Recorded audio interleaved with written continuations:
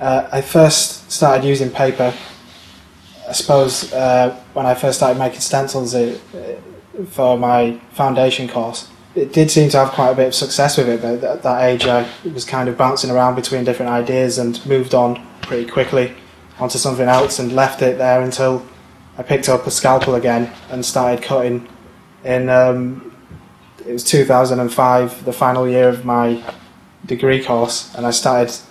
I was producing uh, detailed illustrations, really intense work, and I was just kind of trying to think of ways that slightly out of the box. And I started cutting with a scalpel into my sketchbooks, and uh, that kind of had a nice effect. And then I realised that maybe instead of cutting into drawings, I could use the, paper cuts as drawings themselves and uh, started producing 2D paper cut artwork and made a, a series, a, a three piece series uh, for my final show, which is quite successful.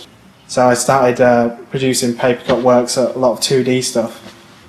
Um, then I stopped working for quite a while, I suppose, and went and travelled a bit and and uh, wasn't really taking it serious until I came back from travelling and uh, with a renewed sense of uh, inspiration and, and really started applying myself to doing doing work.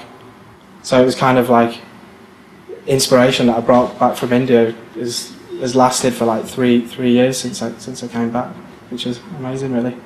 And I started producing large scale paper cuts. Before I was constrained to like quite small pieces of paper, and I started thinking, what what if I start producing large pieces?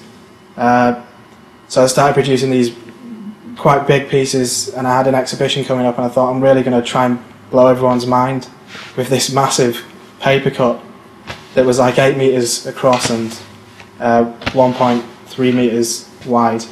I uh, just got the biggest tube of black paper really, and uh, started cutting into it and wanted to reach the end before the exhibition date. I didn't quite reach the end of it, but I got eight meters of really intricate paper cut. That got me noticed uh, when I was able to become an artist full time.